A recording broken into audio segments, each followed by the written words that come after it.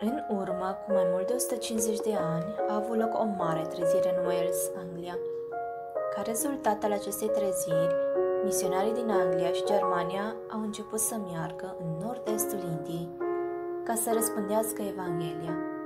La momentul respectiv, nord-estul Indiei nu era împărțit în mai multe state cum este astăzi. Regiunea era cunoscută sub numele de Assam și era formată din sute de triburi.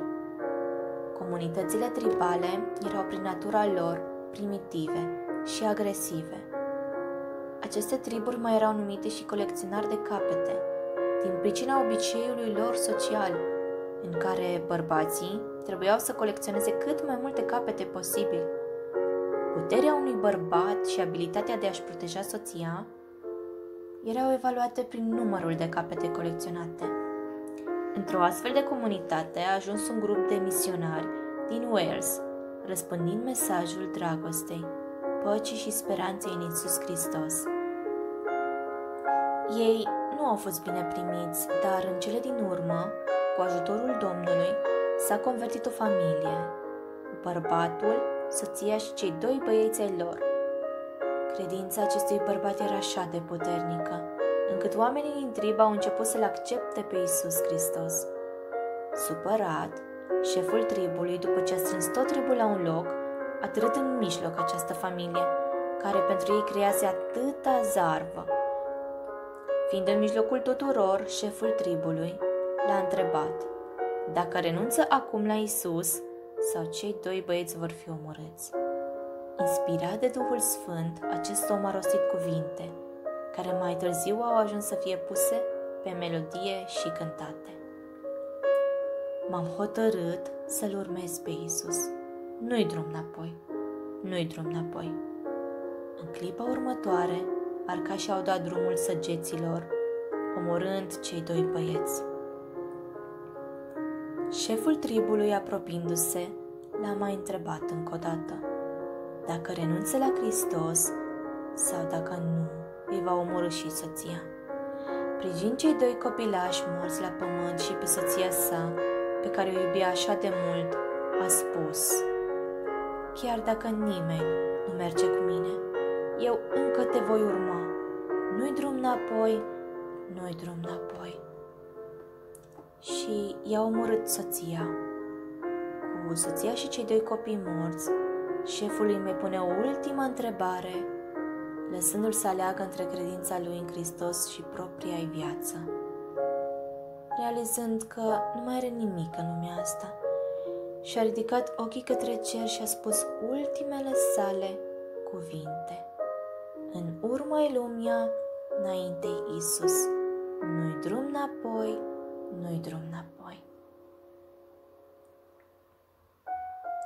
În acel moment, ordinele au fost date și arcașii i-au omorât ca și pe restul familiei lui. Cuvântul lui Dumnezeu în Matei, capitolul 10, cu versetele 37 la 39 ne spune în felul următor. Cine iubește pe tată ori pe mamă mai mult decât pe mine nu este vrednic de mine. Și cine iubește pe fiu ori pe fică mai mult decât pe mine nu este vrednic de mine.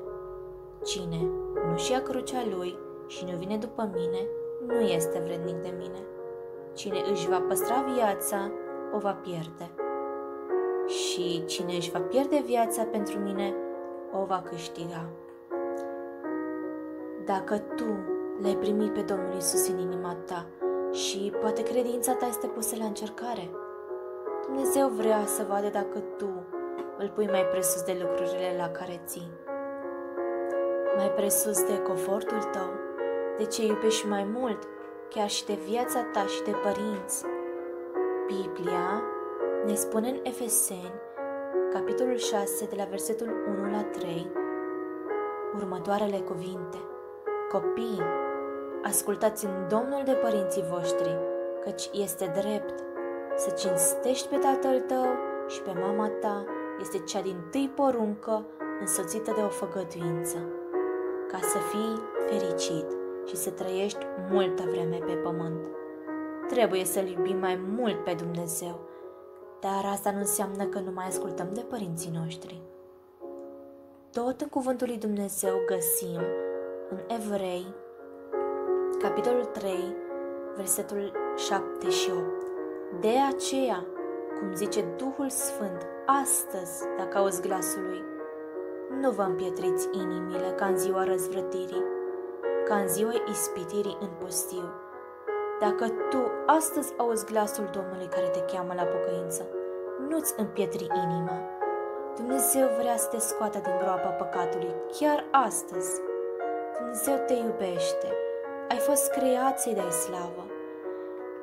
Dumnezeu poate să te ierte și poate să-ți ierte tot trecutul tău murdar. Trebuie doar să recunoști că ești un păcătos, să-ți pară rău și să ceri iertare. Ca El să te curățească de tot trecutul tău. Poate că vei pierde multe pentru Domnul Isus. Însă, povestea nu se termină aici. Șeful tribului, privind trupurile familiei zăcând la pământ, fiind mișcat de credința acestui om, a spus De ce a trebuit să moară acest bărbat, soția și copiii lui, pentru un om care a trăit într-o țară departe, pe un alt continent, cu aproximativ 2000 de ani în urmă? Acest Isus trebuie să fie real. Acest șef de trib l-a acceptat chiar în clipa aceea pe Isus Hristos ca salvator. Și în decurs de câteva luni, tot tribul s-a întors la Dumnezeu. Toate acestea pentru că un om a stat în picioare și cu prețul vieții sale și a familiei sale, inspirat de Duhul Sfânt, a spus M-am hotărât să-L urmez pe Isus și înapoi eu nu voi da. Nimic nu mă va clinti pe cale și eu înapoi nu voi da. În urma-i lumea, înainte Isus, nu-i drum înapoi, nu-i drum înapoi. Un cântec care ne încurajează să-L urmăm pe Isus Hristos, ca să nu umblăm în întuneric, ci în lumină. În Ioan în capitolul 8, cu versetul 12, ne spune așa cuvântul lui Dumnezeu. Isus le-a vorbit din nou și a zis, Eu sunt lumina lumii. Cine mă urmează pe mine nu va umbla în întuneric, ci va avea lumina vieții. Autorul este necunoscut. Cele trei strofe sunt atribuite unui prinț Garo, fără nume, și despre care se spune că a fost cântată de un grup numit creștinii Garo, din regiunea Garo din Assam, India. Astfel se crede că cântecul își are originea în unele triburi de dial din India. Aceste strofe au fost aparent introduse și probabil traduse în engleză în 1949 de Paul Smith. Piesa a fost auzită pentru prima dată în Statele Unite în anii 1950 și a devenit populară în anii 1960. Aceasta a fost prezentată în mod deosebit în întâlnirile cruciadelor lui Billy Graham. Statul Assam era aproape izolat de celelalte 20 de state indiene. Aproximativ două treimi sunt hinduși, iar o a patra musulmani. Cu toate acestea, unele triburi, precum Garos, au fost convertite la creștinism iar acest imn se presupunea că era folosit cu noi credincioși ca declarație a deciziei lor de a-L accepta pe Hristos. Aranjamentul folosit în multe din cărțile noastre de imnuri a fost făcut de William Jensen Reynolds, care s-a născut la 2 aprilie 1920. În 1962 a devenit director al serviciilor editoriale la Catedra de Muzică Bisericească. Versiunea sa din M-am hotărât să-L urmez pe Isus a fost protejată prin drepturi de autor și publicată în 1959. Doresc ca această cântare să rămână în inima ta, iar dacă l-ai primit pe Isus Hristos în viața ta să fie și o mărturie a vieții tale. Dacă tu încă mai stai pe gânduri, deși auzi vocea Duhului Sfânt care spune Astăzi vin la Isus, nu mai amâna. Isus te așteaptă cu brațele deschise. El vrea să te facă un copil al Lui. M-am hotărât să urmez pe Iisus. M-am hotărât să